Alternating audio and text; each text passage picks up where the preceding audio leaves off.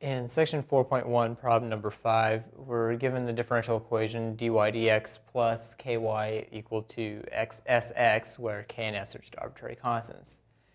And rest to, if we let t equal the second derivative of y with respect to x, rest to rewrite this, or to write a differential equation uh, in terms of t and x by taking the second derivative of both sides of this equation. So if we take the second derivative, we get um, the third derivative of y with respect to x, which is the same as the first derivative of t with respect to x. So we end up with dt dx plus k. Now, the second derivative of y with respect to x is what we define t to be, plus kt. And once we take the second derivative of the right-hand side, we just end up with 0, since the second derivative of sx is just equal to 0. So we see that our differential equation is dt dx plus kt is equal to 0, or equivalently, maybe a little more convenient to write it as dt dx is equal to minus kt. So now part B asks us to solve this differential equation for, um, for t and for the general solution of t in terms of x. Now, whenever we have, uh, here I'll rewrite the equation up here, dt dx is equal to minus kt. Now, we have a theorem in the preceding chapter that says that um, the general solution of this equation would be t is equal to um, c e to the, say I want to use k, let's for the moment use um, about alpha t, where alpha is just some constant. Now, in order to find out what that constant is, we can take the derivative of t with respect to x. Oh, excuse me, this should be x, not t up here. Uh, we take the derivative of t with respect to x. So give us alpha times c equal to alpha x. And we see that um,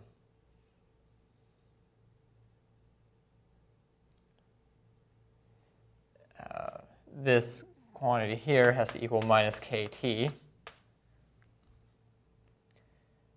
So we see that um, our general solution, oh, hold on.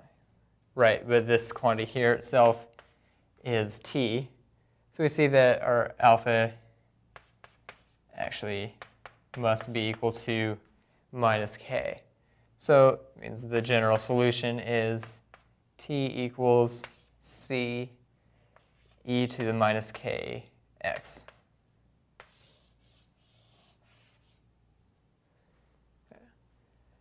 Now, part C asks, uh, asks, us to find constants such that this given equation here is a solution to the original differential equation that we had. Now, the way that I'm going to do that is just write down the original differ differential equation, which is dy dx is equal to sx minus ky. Here I'm just rearranging it a little bit. And then I'm going to find constants such that this equation is a solution, so I'm just going to write the derivative of y with respect to x again, just using this.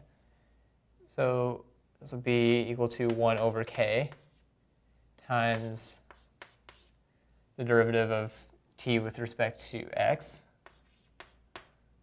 plus, I'll take the derivative of the next term with respect to x, leaves us with a, and the third term is constant, so that goes to 0.